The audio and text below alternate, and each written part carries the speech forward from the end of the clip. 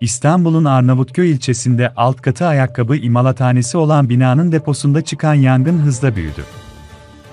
Yangın binanın üst katlarını da sardı. Duman tüm binayı kapladı.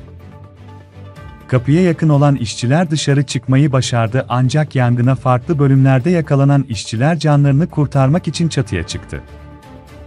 Burada mahsur kalan işçileri itfaiye ekipleri kurtardı. Dumandan etkilenen işçilere ilk müdahale olay yerine giden ambulanslar da yapıldı. İşçilerin sağlık durumlarının iyi olduğu öğrenildi. Büyük çapta hasarın meydana geldiği yangının nedeni araştırılıyor.